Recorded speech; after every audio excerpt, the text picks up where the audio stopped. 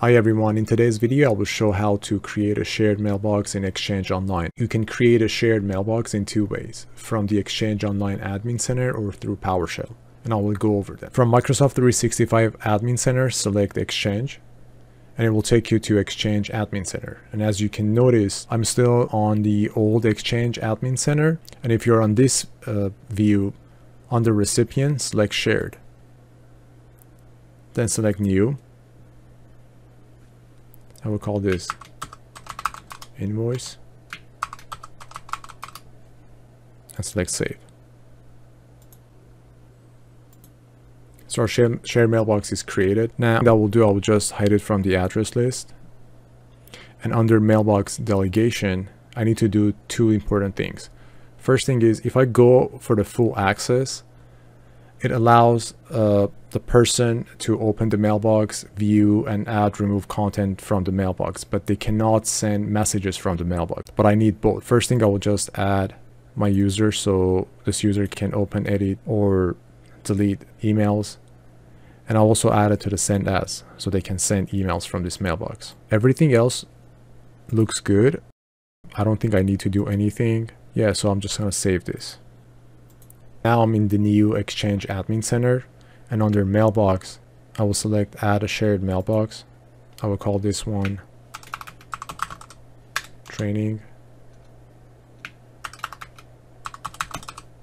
I will select my domain. Then I will select Create. Now if I go to Mailboxes, I will see my invoice and training shared mailboxes. If I select training, under mailbox permissions, I will do the same thing. I'll add my user uh, for the read and manage, and also I will select send as.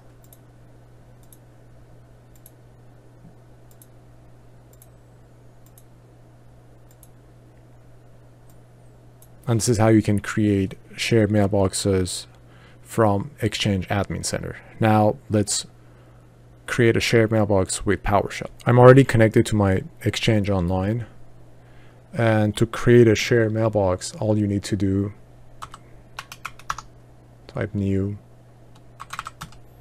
mailbox.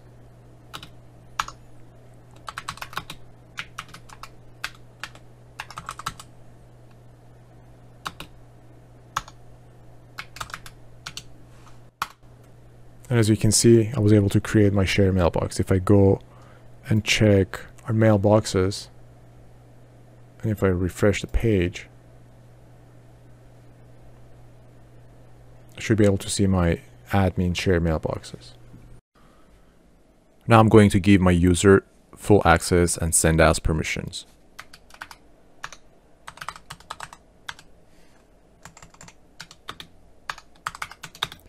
Identity is the name of the shared mailbox.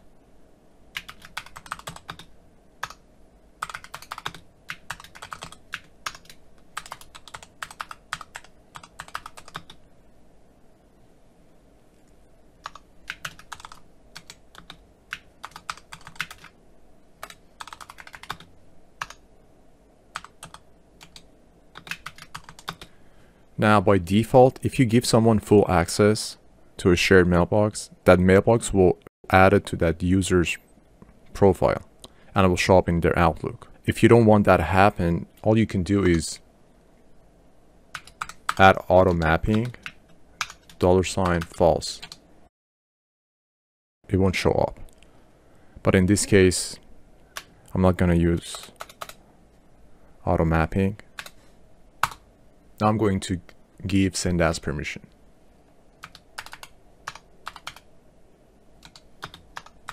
Get identity.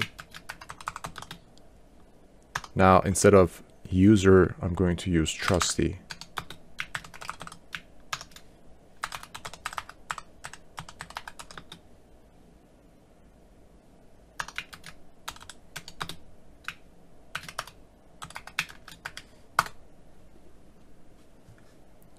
Yes to all.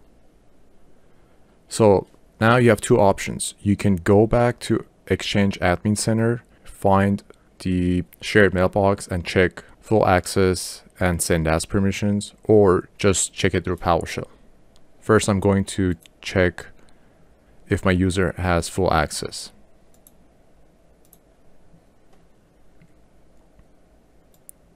Here my user has access rightful access to admin shared mailbox. Now I'm going to check if my user has send as permission.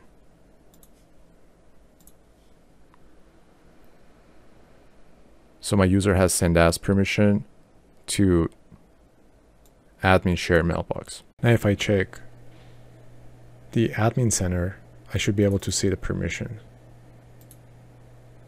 As you can see, I have read and manage and a send as permission, and I all did it through PowerShell.